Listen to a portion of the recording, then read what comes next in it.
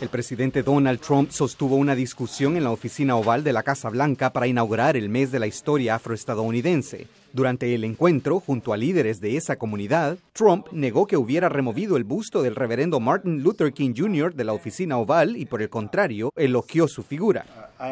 Estoy muy orgulloso de que ahora tengamos un museo en la Alameda Nacional en donde las personas puedan aprender sobre el reverendo King, Frederick Douglass, como ejemplo de personas que han hecho un increíble trabajo. El presidente Trump también prometió trabajar para mejorar la calidad de vida de la segunda minoría más grande de Estados Unidos.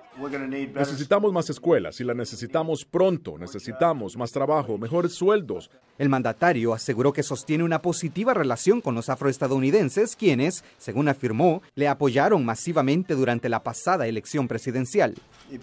Si recuerdan, se suponía que a mí no me iría bien con la comunidad afroestadounidense, pero cuando ellos me escucharon hablar terminamos consiguiendo sustancialmente más apoyo que el que consiguieron otros presidentes en el pasado. Según reportes del periódico Washington Post, los resultados de las encuestas al final de la elección mostraron que la nominada presidencial demócrata, Hillary Clinton, obtuvo el 89% del voto afroestadounidense sobre el 8% que apoyó a Trump, mientras que el expresidente Obama recibió el 93% de apoyo por parte de esta comunidad en 2012.